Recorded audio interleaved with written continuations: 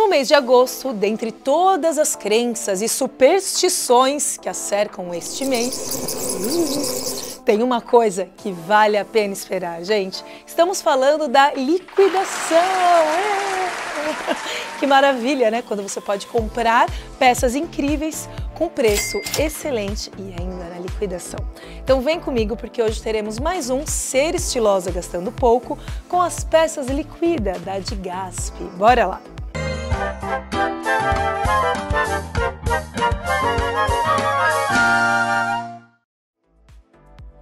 Bom, durante todo o primeiro semestre eu trouxe para vocês aqui vários looks incríveis dentro do nosso quadro Ser Estilosa Gastando Pouco. Você sabia que lá na Digasp tem uma mega liquidação no final do semestre?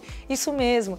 Então corra já para o site da Digasp porque tem descontos de até 50% off.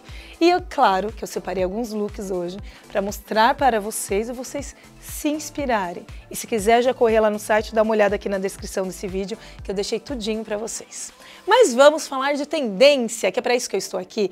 Bom, a primeira ideia que eu trouxe para vocês, que é algo que está muito em alta e agora nos dias mais geladinhos nós usamos muito porque é confortável. Várias famosas apostam nesse visual, que é a ideia do tricô angora. Para quem não sabe o que é o tricô angorá, é esse tipo de tricô que tem esse pelinho, que lembra mesmo um coelhinho angorá, um gatinho angorá. Olha que fofo, gente. E o toque dessa peça é maravilhosa. Com aplicações de pérolas e brilho. Gente, cada detalhe desse deixa o seu visual muito mais elegante. E aí, além de ser o tricô angorá, que passa esse visual mulher cara de rica, temos a opção também desse visual monocromático, que foi algo que eu trouxe para vocês. E olha o tanto de famosa que aposta nesse look. Olha esse look da Juliana Moore, que linda, gente. E ela tem mais de 60 anos e colocou sim uma cor vibrante, um visual da mesma tonalidade, tanto na parte de cima como na parte de baixo. Nesse look que eu montei, repare que eu estou com uma calça jeans, porém uma calça jeans nesse índigo blue mais fechado, que conversou com a tonalidade do meu tricô, assim como a tonalidade do meu calçado. Que é esse calçado, olha só, é estilo um escarpana, né? esse sapato muito bonito, do bico afunilado e esse saltinho quadrado, que é mega confortável. Aliás, já para tudo, aproveite para comentar aqui nesse vídeo, dê o seu like, deixe seu comentário, se você é novo ou nova no canal, já se inscreva. Aqui no YouTube nós temos vídeos novos toda segunda, quarta e sexta, às 8 horas da noite. Agora, já que o tricô angorá é algo que várias famosas estão apostando, que tal você mudar também apenas a blusa e manter a calça, gente? Essa é uma sugestão, uma dica ótima para você que se queixa que não tem roupa no armário. Repare que com uma calça nesse índigo blue mais fechado, você consegue facilmente transitar de um visual elegante, como foi esse primeiro que nós mostramos, para um visual mais despojado, mais descolado, mais jovial. E repare que nos pés eu coloquei esta bota linda, que é um coturno, que está muito em alto coturno, com esta aplicação de pelugens. Tudo isso faz o seu visual ficar mais moderno, mais interessante. E aí já me perguntaram aqui no canal do YouTube se é possível colocar uma bota com a calça e a barra dobrada. Sim, gente. Aliás, essa é uma sugestão para você que se sente incomodada com a calça por dentro da bota. Dê aquelas duas dobradinhas.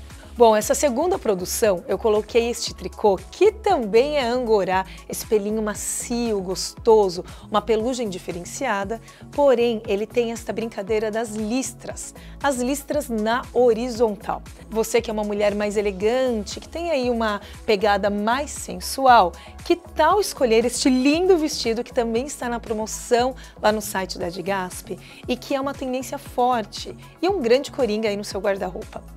Dá uma olhada que este verde é uma cor linda e muito democrática, que cai bem aí em várias tonalidades de pele. Ele é um vestido de manga longa, porém eu sempre sugiro que você dê essas puxadinhas aqui no antebraço para deixar essa peça mais moderna, mais jovial. E ele ainda provoca esta manga bufante, que deixa aí esse movimento muito bonito, tá vendo? Aqui nesse look eu escolhi também uma bota coturno, porém agora puxando para a tonalidade do marrom, ou seja, esse café mais fechado. Aliás, gente, o verde musgo mais fechadinho, ele sempre vai conversar muito bem com todas essas tonalidades mais fechadas. Café, terracota e pode usar sem medo, que trará aí um visual diferenciado para o seu look.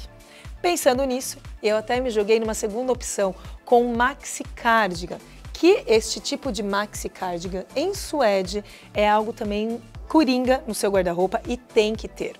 Repare que eu coloquei ele também nessas tonalidades de marrom e ajudou aí a deixar esse visual mais interessante, trazendo o olhar para o centro do corpo. Essa é uma dica ótima para quem está acima do peso e se sente mal na hora que coloca um vestido muito apertado. Quando você joga aí um casaco, um colete, você consegue disfarçar aquelas imperfeições e trazer o olhar para o centro do seu corpo, ajudando a alongar aí a sua silhueta. Falando em alongar a silhueta, o colar também é um grande aliado nosso. Que no caso, se você está com um vestido muito ajustado ao corpo, no momento que você joga um colar mais comprido, ele também proporciona esse visual, deixando aí você mais longilínea.